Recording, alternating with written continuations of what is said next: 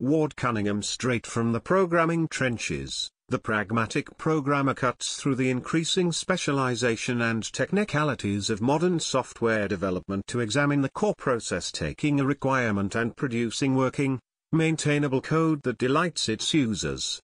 It covers topics ranging from personal responsibility and career development to architectural techniques for keeping your code flexible and easy to adapt and reuse, Read this book, and you'll learn how to fight software rot. Avoid the trap of duplicating knowledge. Write flexible, dynamic, and adaptable code. Avoid programming by coincidence. Bulletproof your code with contracts, assertions, and exceptions. Capture real requirements. Test ruthlessly and effectively. Delight your users. Build teams of pragmatic programmers and make your developments more precise with automation written as a series of self-contained sections and filled with entertaining anecdotes, thoughtful examples, and interesting analogies. The pragmatic programmer illustrates the best practices and major pitfalls of many different aspects of software development, whether you're a new coder, an experienced program programmers are craftspeople trained to use a certain set of tools editors,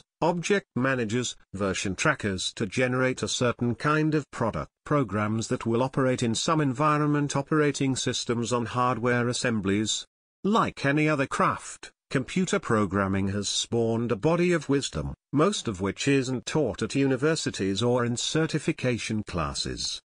Most programmers arrive at the so-called tricks of the trade over time, through independent experimentation.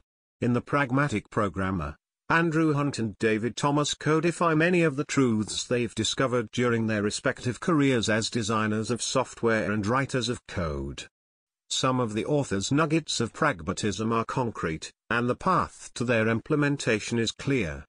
They advise readers to learn one text editor, for example, and use it for everything.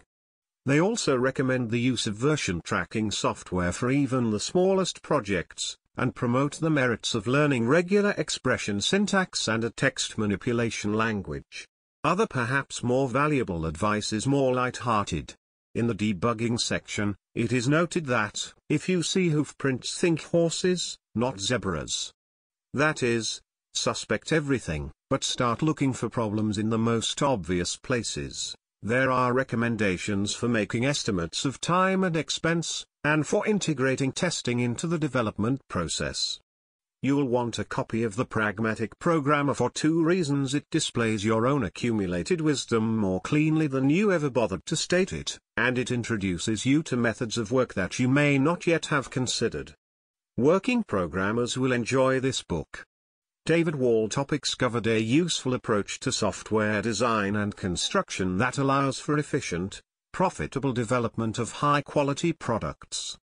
Elements of the approach include specification development, customer relations, team management, design practices, development tools, and testing procedures. This approach is presented with the help of anecdotes and technical problems.